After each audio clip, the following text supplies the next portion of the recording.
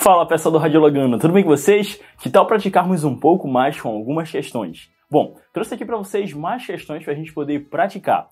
Seja bem-vindo ao canal Radiologando, o seu canal de radiologia. E se você é novo no canal e está chegando agora, já se inscreve e ativa todas as notificações para não perder nenhum vídeo. E claro, ficar por dentro de todo o conteúdo que aqui é postado.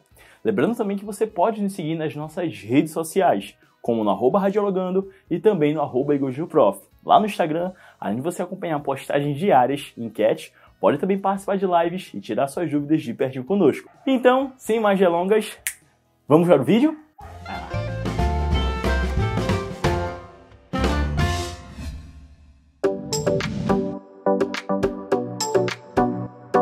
Bom, e na primeira questão temos aqui uma questão sobre anatomia radiológica e também de posicionamento. Se liga só.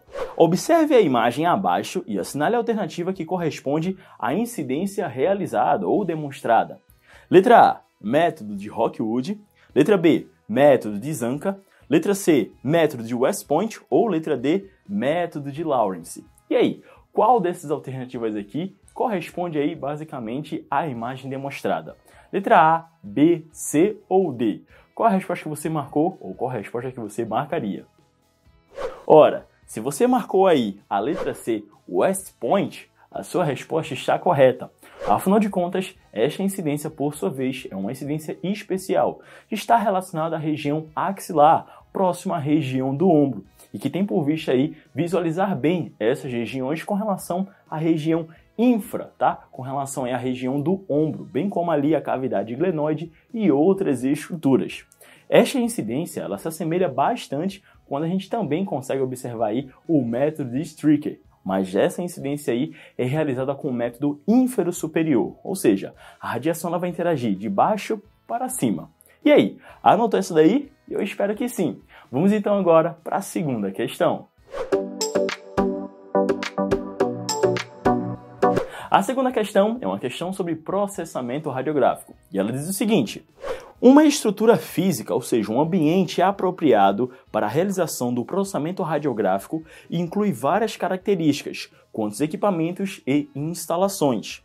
Qual dos requisitos abaixo é dispensável para uma câmara escura com processamento radiográfico automático? Lembrando que o processamento automático radiográfico não é o digital, tá bom? Letra A: piso antiderrapante. Letra B: cronômetro digital. Letra C: piso anticorrosivo ou letra D, exaustor. Qual dessas instalações ou desses instrumentos aqui não se faz necessário para uma câmara escura que tem um processamento radiográfico automático? Letra A, B, C ou D? Qual a resposta que você marcou ou qual a resposta que você marcaria? Ora, se você marcou a letra B, cronômetro digital, a sua resposta está correta. Afinal de contas, no processamento radiográfico automático, não se faz necessário do cronômetro digital. Agora, no processamento radiográfico manual, se faz necessidade tanto do cronômetro digital como também de um termômetro. Por isso, a resposta correta é a letra B. Tranquilo? Vamos então agora para a terceira questão.